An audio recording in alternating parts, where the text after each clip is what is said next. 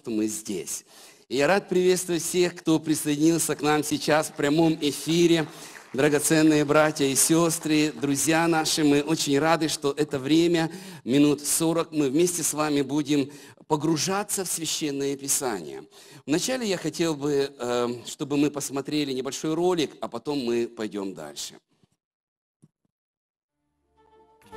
Я дома. Зарплату принес? Да. Где еще? За квартиру, за садик, за музыкалку, маме на подарок. Еще Степанычу вернуть, Семеновичу отдать, Сергею Федоровичу уже полгода должен. Когда вы планируете погашение кредита? У вас задолженность полми. Папа, купи такой, купи такой телефон. Купи, купи, купи, купи, купи, купи, купи, купи, купи, купи. Где еще?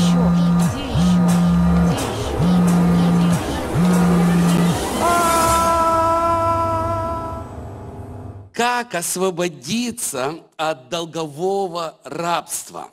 Знаете ли вы, что до 70% населения нашей страны не имеют никаких сбережений, что позволило бы им в кризисное время продержаться хотя бы пару месяцев?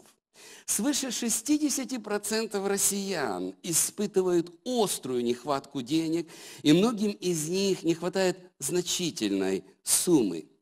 Шесть из десяти наших соотечественников в прямом смысле слова живут от зарплаты до зарплаты, не в силах откладывать хоть что-то. И ситуация продолжает ухудшаться. Что делать? Как выжить? Можно ли выбраться из этого замкнутого круга? Одна из причин такой ужасающей статистики состоит в том, что мы вынуждены постоянно оплачивать свои долги.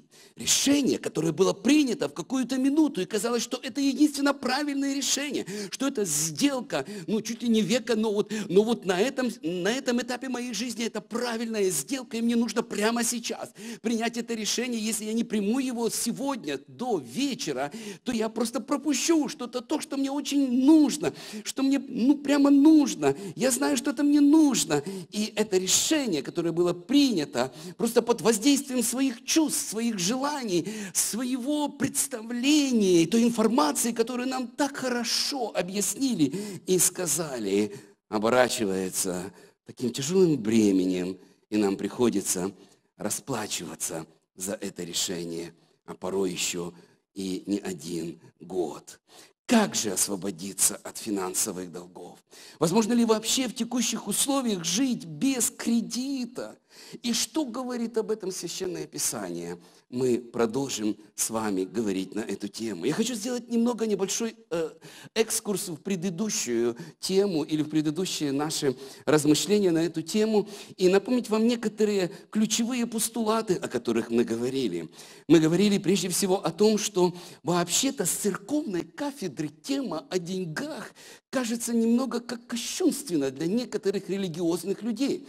И э, наверняка не во всякой церкви вы услышите, чтобы пастор вникал глубоко в финансы и каким-то образом учил и наставлял.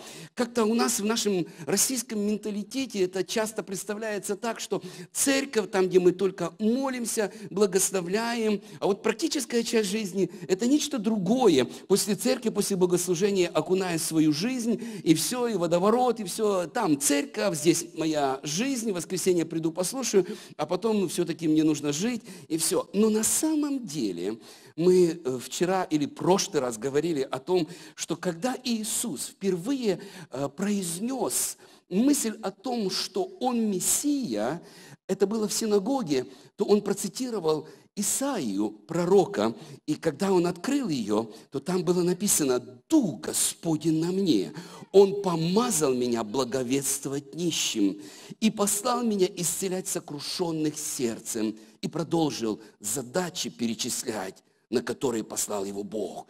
Но в этом списке самая первая задача – проповедь нищим.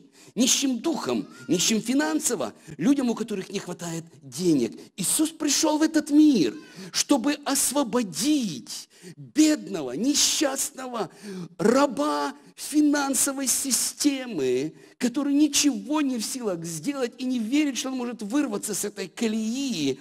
Он пришел проповедовать таким людям. Мы говорили о том, что более двух с половиной текстов из Священного Писания говорят о деньгах и материальных благах. И это в пять раз больше, чем те стихи, которые говорят о молитве, в пять раз больше, чем те стихи, которые говорят о вере, и намного больше, чем взять все соединить стихи, говорящие о небесах и об аде. Мы говорили о том, что эта книга, книга Библия, говорит о финансах по той причине, что Иисус очень четко сформулировал и сказал, где сокровище ваше, там будет и сердце ваше. Другими словами, если ты за это заплатил, то ты примешь это во внимание, потому что ты за это заплатил. Мы говорили также о том, что есть несколько ценностей, которые Священное Писание предлагает нам. И одна из них, мы э, на ней остановились, это воздержание. Мы говорили, что воздержание – это плод Духа, но мы также говорили и о том, что воздержание – это также человеческое качество, которое Господь, воздействуя на нас Святым Духом, хочет в нас выработать и научить нас. Мы также коснулись книги притч, из, из книги притч 22 главы 7 стиха, мысль о том, что богатый господствует над бедным, и должник делается рабом взаимодавца. И мы говорили о том, что кредиты, я говорю о потребительских кредитах, и я говорю о том, что Писание и Библия говорит о том, что кредиты являются финансовым рабством. Друзья, а, сейчас я хочу немного, чтобы мы коснулись двух искушений, которые в Писании обозначены очень ясно, то, что касается денег. И потом мы будем говорить о том, каким образом нам вырваться или выйти из долгов. Первое искушение – это искушение любить деньги. Первое послание Тимофея, 6 глава, 10 стих. Апостол говорит своему сыну духовному, корень всех зол – сребролюбие, которому, предавшись, некоторые уклонились от веры, от веры и сами себя подвергли многим скорбям. Обратите ваше внимание на то, что он не говорит о том, что корень всех бед – это деньги, потому что деньги являются инструментом. Если этот инструмент попадает в руки благочестивого человека, человека, боящегося Бога, человека, для которого воля Божия и Царство Божие имеют высший э, приоритет в его поступках и решениях, то деньги станут своего рода инструментом, которые помогут воплотить ему те Божьи цели и мечты, которые Господь будет давать ему на сердце. Проблема не в деньгах, проблема в отношении к ним. Когда сердце привязывается к ним, когда ты чувствуешь такое настроение хорошее просто от того, что у тебя много денег, и когда у тебя вообще нет настроения, когда у тебя не хватает денег на то, что ты хочешь купить, корень всех зол в сребролюбие. То, как мы относимся к деньгам, является показателем нашего внутреннего состояния. Любовь к деньгам является злом.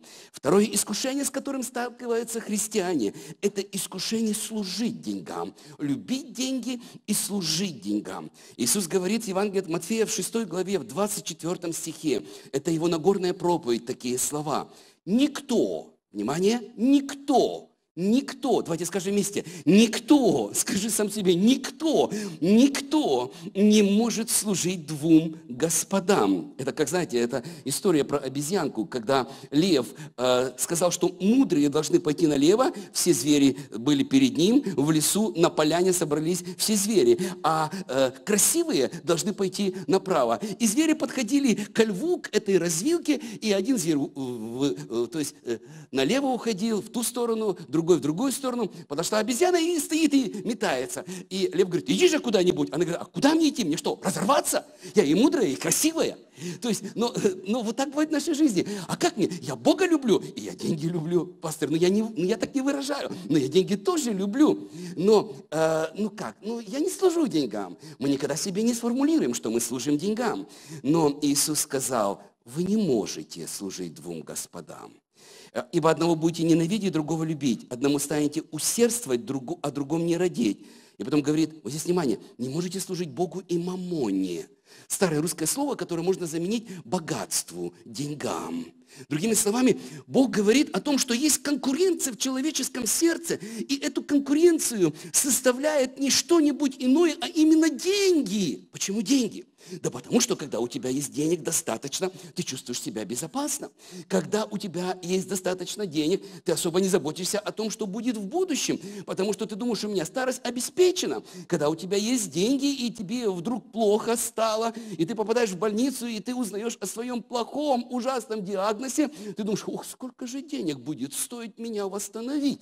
И ты думаешь, я все решу. Это не проблема. Когда у тебя есть деньги, ты попадаешь в какую-то беду, или какая-то авария, ты говоришь, я все улажу, потому что ты чувствуешь себя очень стабильно и хорошо, когда у тебя есть деньги. И ты думаешь, деньги – это ответ. Деньги, количество денег решает все. Оп, и ошибка.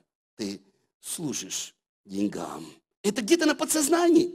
Ты любишь чувствовать себя когда у тебя их много, когда ты состоятельный человек, и ты милостыню даешь так вот с чувством достоинства, и ты знаешь себе цену, потому что у тебя есть много денег. Друзья, церковь, братья, сестры, послушайте внимательно, это первая проповедь Иисуса. Он говорит, мы не служим деньгам, мы не можем служить деньгам. Мы не служим деньгам. Мы служим Богу. Избери себе. Или ты служишь Богу, но не служишь деньгам, или ты служишь деньгами, сам себя обманываешь, что ты служишь Богу. Нельзя служить двум господам. Если ты любишь Иисуса всем своим сердцем, ты будешь служить Господу, и Его воля будет для тебя решающим фактором. И вот здесь внимание, нет, не деньги дадут тебе безопасность, нет, не деньги обеспечат тебе э, хорошую, счастливую старость. Нет, не деньги помогут твоим детям, чтобы они в жизни пошли и нашли свое место и призвание.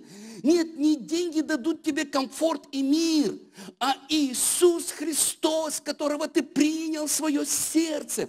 Именно Он является гарантом твоей сегодняшней жизни и твоего будущего мы не служим деньгам, мы служим нашему Господу, а деньги служат нам, когда мы служим Богу. Нельзя менять местами. Поменяешь местами, и у тебя все на выбор. Ты служишь Богу, а деньги служат тебе, служат тогда, когда ты исполняешь Его волю. Деньги служат нам. Я немного остановлюсь на этом. Это два искушения, с которыми мы сталкиваемся – любить деньги и служить деньгам. Знаете ли вы, что если произносить какую-то идею, распространять информацию о ней достаточно долго, достаточно громко, достаточно часто, то в конце концов найдутся люди, которые станут считать ее истиной. А знаете ли вы, что если добавить до этого маркетинга, до этой идеи, до этой лжи, если добавить до этой лжи еще и финансовый бюджет на то, чтобы э, приобрести целевую аудиторию и сделать хорошую рекламу, и делать это профессионально, достаточно заумными словами, то можно добиться того, что очень большой процент людей и общества постепенно станут верить что это правда. Я не знаю, только мне ли приходит или вам. Вот вчера мне пришла, э, э, э, значит, э, смс-ка. Пять причин оформить кредитную карту Тиньков Платинум. Кредитный лимит до 700 тысяч рублей. Пять причин. Я читаю, 700 тысяч, 700 тысяч, 700 тысяч в кармане, может быть, буквально там через полчаса, через час. 700 тысяч рублей. Когда ты хотел поменять автомобиль, когда ты хотел сделать э, ремонт вообще. То есть пять причин. А какая же вторая причина? 120 дней. без процентов погашения другого кредита. Ух, слушай, ну, не каждый день меня атакуют разные банки. Каждый день. Знаете ли вы, что общество эту идею приняло? Общество вообще-то считает, что это правда что невозможно прожить без потребительских кредитов. Я не говорю о кредитах на бизнес или ипотека. Это немного другая ситуация. Здесь мы, здесь мы не столько, может быть, даже похоть свою э, реализуем, сколько здравый смысл, чтобы нам жить и не платить кому-то, какому-то дяде в карман за аренду. И это другая история. Я говорю о потребительских кредитах, когда тебе хочется прямо сейчас, и ты считаешь, что это хорошая сделка. Друзья, но от того, что постепенно изменилась культура, только подумайте, наши старшие поколения, здесь есть люди с седыми головами, только подумайте, в дни Советского Союза, 30 лет тому назад отмотать, я думаю, может быть, 1-2% людей вообще знали, что такое в банке взять кредит. Я помню, когда мой отец покупал автомобиль, и там не хватало тысячи рублей, вся семья мы молились. Я был маленький, мне было 7 лет, но я помню, что мы занимали эту тысячу на короткий срок, там где-то на полгода, чуть больше или на год. И я помню, как он все время говорил, мы отдаем долг, мы отдаем долг, мы отдаем долг, мы отдаем долг. И все деньги шли к тому, чтобы дать. Это не было в банке, это было у братьев и сестер. Сейчас, 30 лет спустя, вы можете представить себе жизнь без кредитных карт? Вы считаете, что это возможно? Я иду, у меня деньги, да, у меня есть карта, да, у меня сейчас она электронная, вот так вот сделаю, и я все, рассчитался, все, там минус, ну, ничего, я покрою, я отработаю, да, я молодой, я отработаю. Потом раз срок заканчивается, мы берем второй кредит, и мы потом уже вторым кредитом перекрываем первый кредит. И потом мы берем третий кредит. Ой, это тяжелая такая цепь, я так вот ее с ней похожу. Мы берем третий кредит, чтобы перекрыть тот второй кредит. И мы даже не замечаем, как мы так постепенно обрастаем просто и обкладываем себя кредитами. Я хочу сказать, друзья мои, что независимость от того, что говорит сегодня общество и мир, Библия называет кредит очень негативными словами. Она использует слово глупец, глупый человек, который берет кредит. Бог не злится на тебя. Я хочу спросить у вас, у многодетных, у вас есть э, один ребенок, который постоянно делает какие-то глупые вещи. Сидите как дети, а он какие-то глупые вещи делает. Не понимаете ваши руки, даже если есть он. То есть, ну, я хочу сказать, вы что, перестали любить его? Вы же его любите точно так же, правда? И вы говорите, ну опять, опять. Я представляю себе там на небе, э, Бог смотрит, я помню, как, помнишь, где-то лет, наверное, 20 назад мы шли, в 90-е годы, мы шли по центру города Новосибирска, гуляли, и к нам подошли молодые люди с планшетом. И в течение 10 минут они почти нам продали какую-то путевку, какой-то тур, сказали, что каждый год вы будете бесплатно отдыхать. Там какие-то фотографии и все. Я впервые в жизни слышал об этом. Я Стоял, смотрел, благо за мою жену. Она говорит, мне так нехорошо в духе, пошли отсюда. Я говорю, да подожди, нам предлагают вообще-то куда-то ездить каждый год и просто отдыхать. Она говорит, ты, ты, ты в это веришь? Я говорю, ну, ну а что, он так обманывает или как? Она говорит, ты такой наивный. Вот, и она меня с трудом оттуда тащила, и я долго еще обижался на нее, думаю, ничего себе, а могли бы иметь какое-то место, отдыхать где-то, куда-то ездить. Потом я спустя какое-то время узнал, что это, просто аферисты, которые просто обманывали.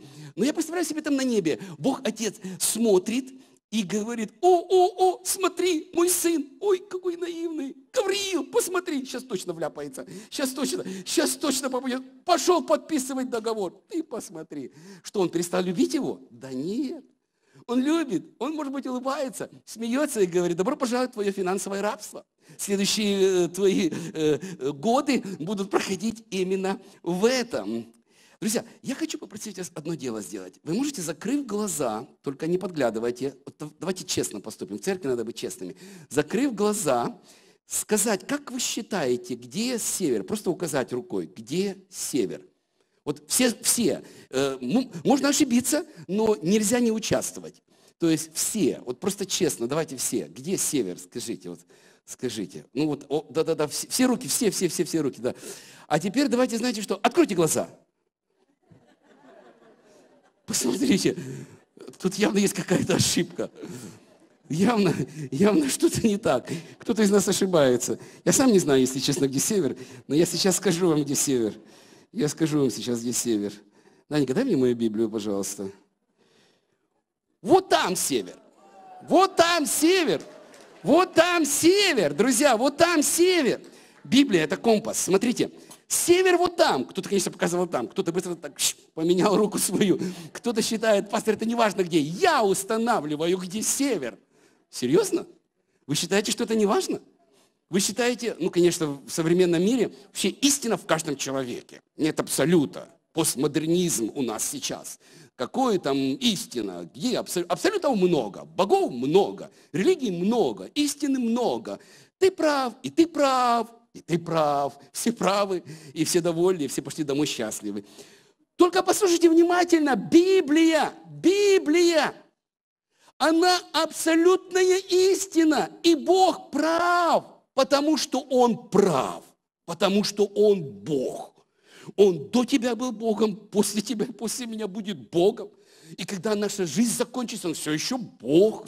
И Он сказал о долгах очень плохие слова.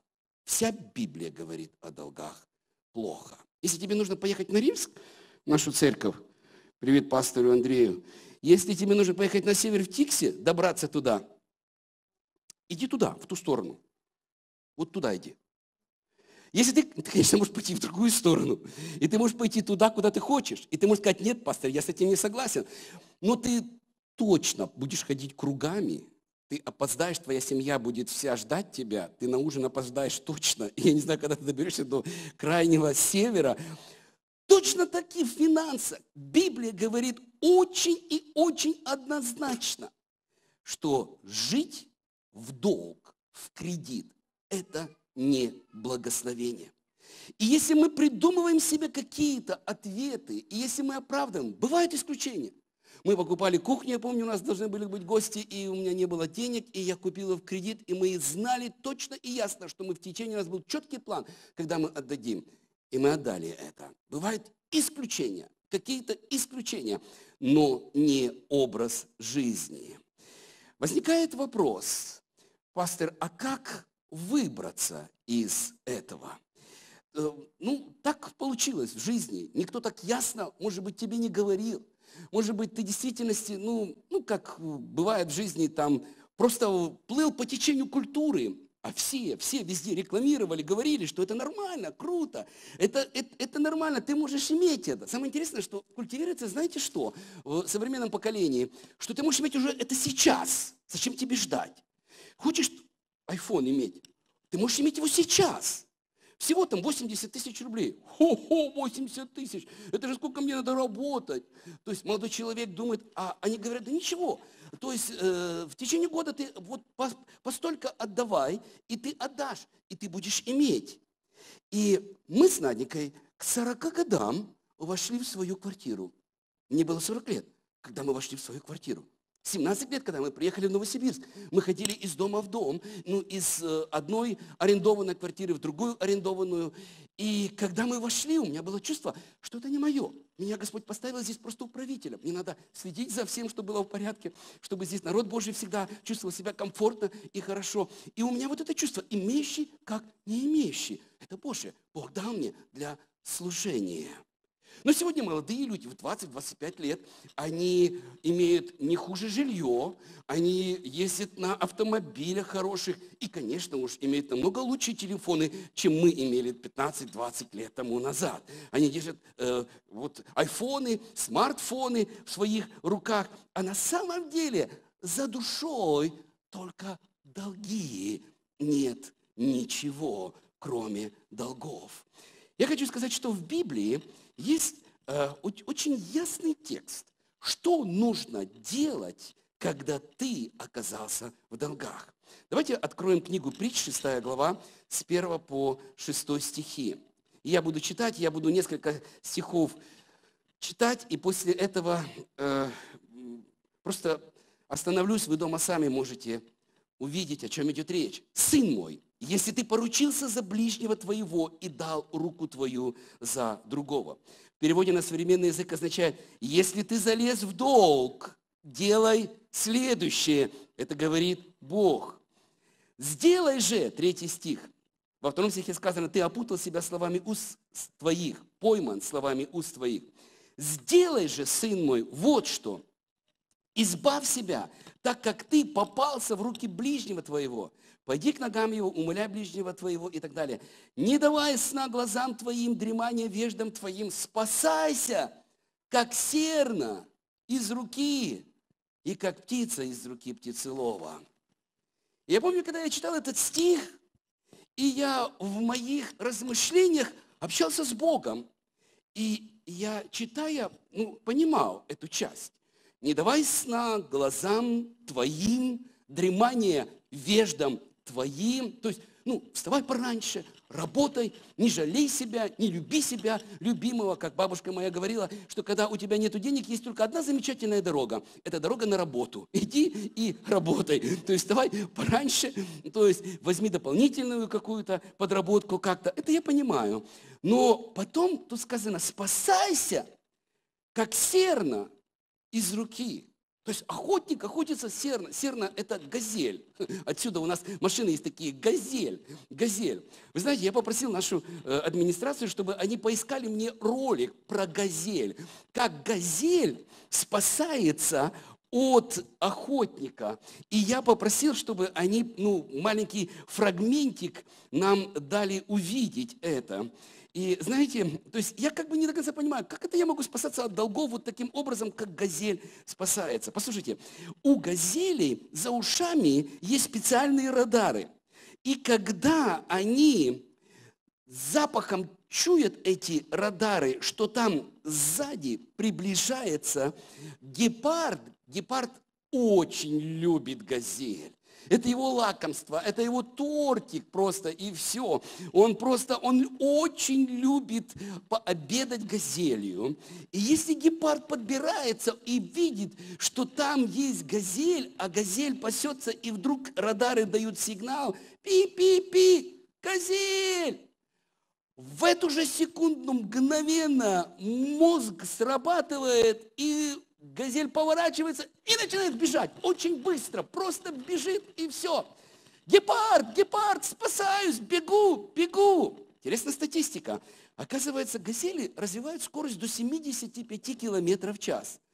А гепарды, а гепарды, вы не поверите, это самые быстрые сухопутные млекопитающие. Такая кошечка, которая четырьмя прыжками развивает скорость до, 100, до 80 километров, а вообще-то до 115 километров в час.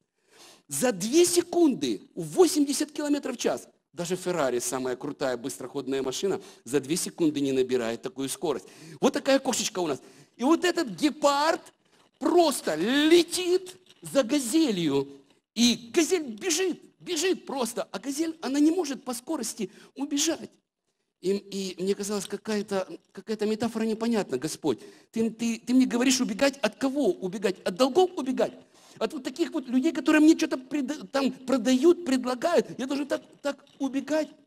Подожди, так э, это же, это же исход очевиден. То есть газель, все, обречена.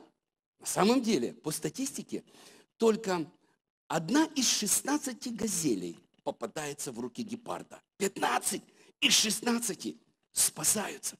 За счет того, что они высоко прыгают и маневрируют. И за счет того, что они делают это настолько долго, просто долго, что гепард устает.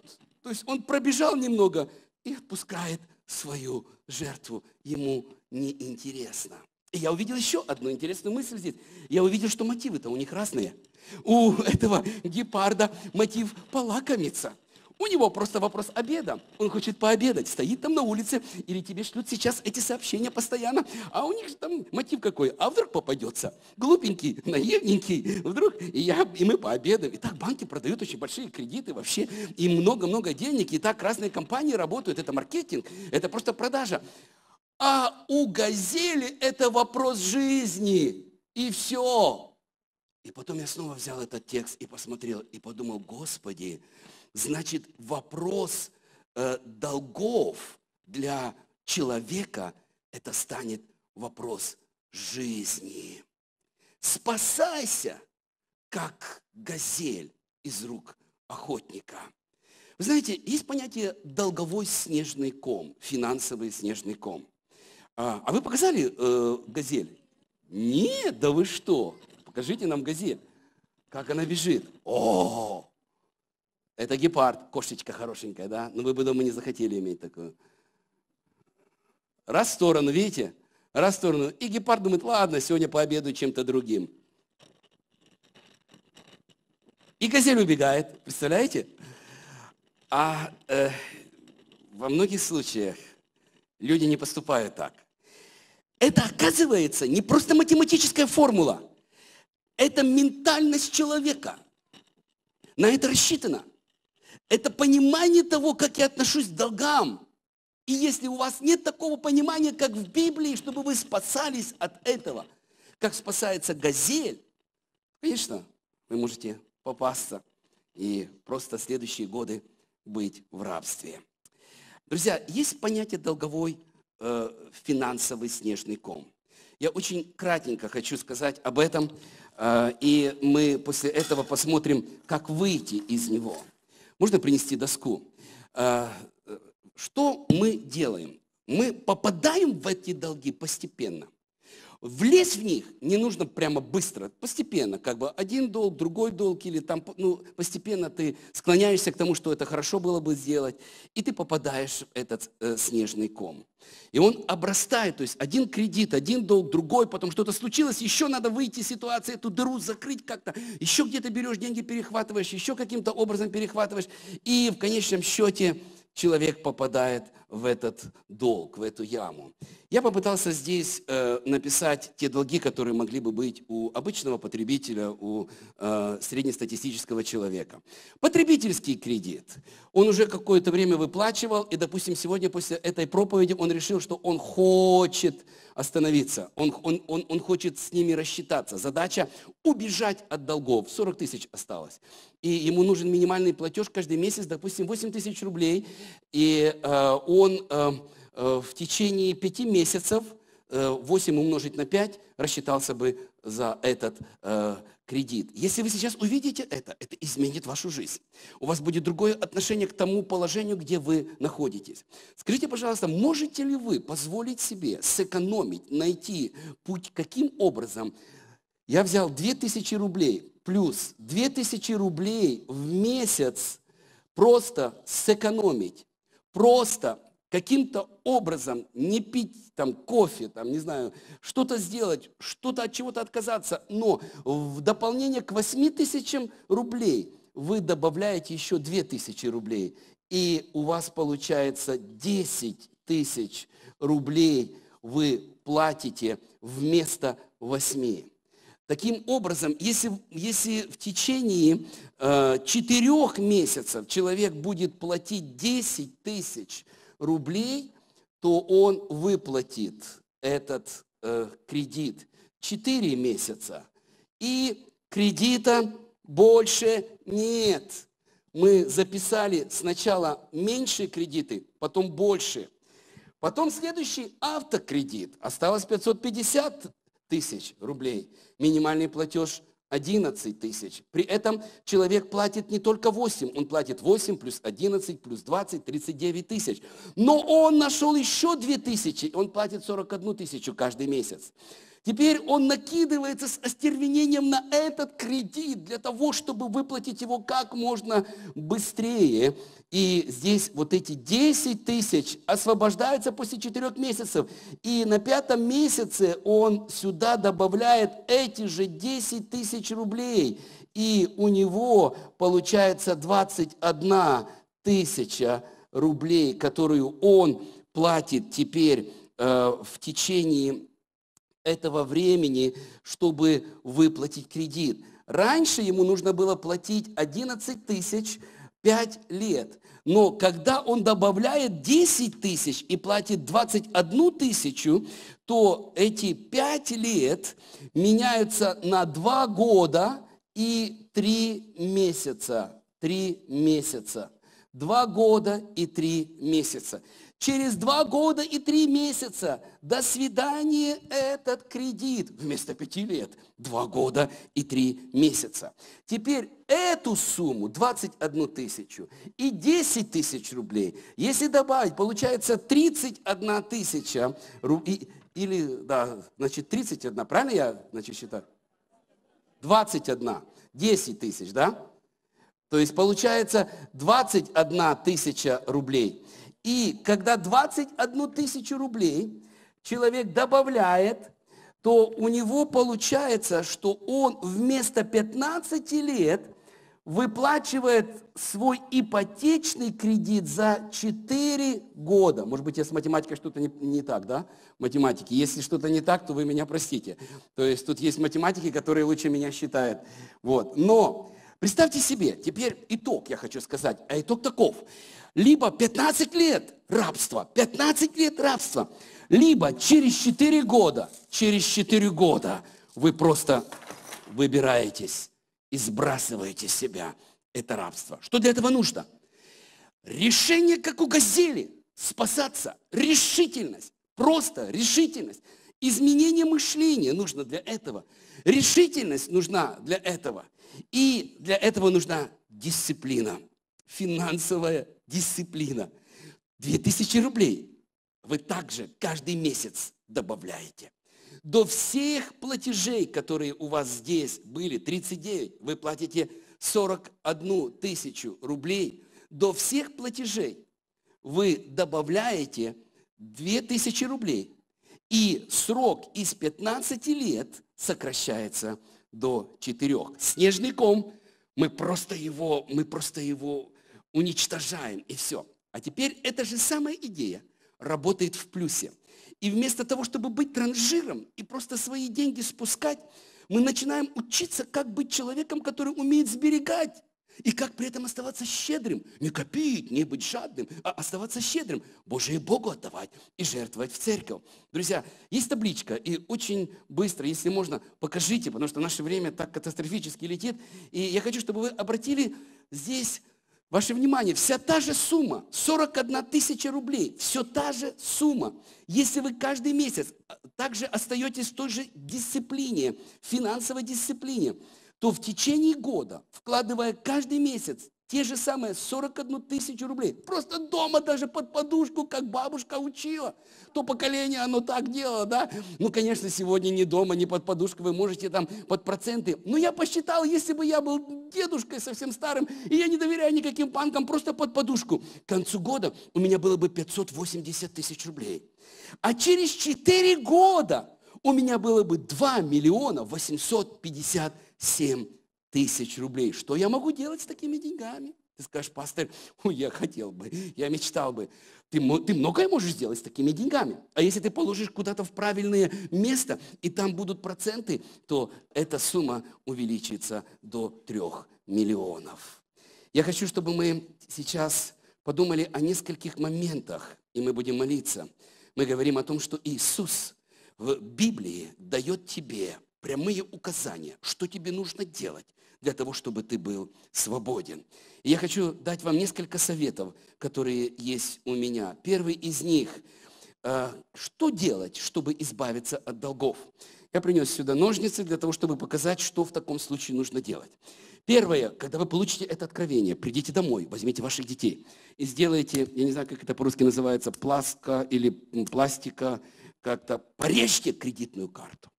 Просто порежьте кредитную карту и скажите, у меня свобода. Я еще фактически не вижу ее, но у меня свобода. Я не буду больше залазить в кредит. Я не знаю, как я выживу, но я не умру. Бог обещал, что он меня не оставит.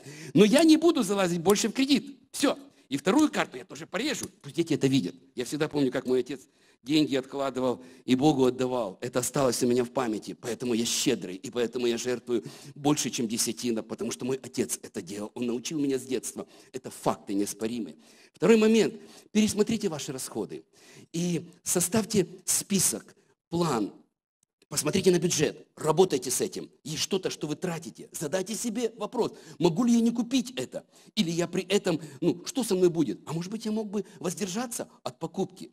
Третий момент, пересмотрите ваши вещи. И третий совет называется «расхламляемся». Загляните в э, кладовку, загляните в гараж, загляните в шифонерчик. Скажите, ой, давно не одевал этот костюмчик. Ой, может быть, кому-то, там Иисус прям говорит, если у тебя два, то возьми один и отдай нуждающимся. Просто пересмотри все и продай. Продай, просто продай, если тебе нужно выйти из долгов. Мы говорим о том, чтобы выйти из долгов. И в этот момент ты делаешь все для того, чтобы сосредоточиться и вырваться. Если вы спросите у любого э, ядерщика, физика в Академгородке, который работает в нашем институте, что сделать, чтобы выскочить из колеи, когда в орбиту попала ракета, каждый из них знает. Он скажет, «Нуж- э, нужна дополнительная энергия. Так просто он не вылетит. Дополнительная энергия.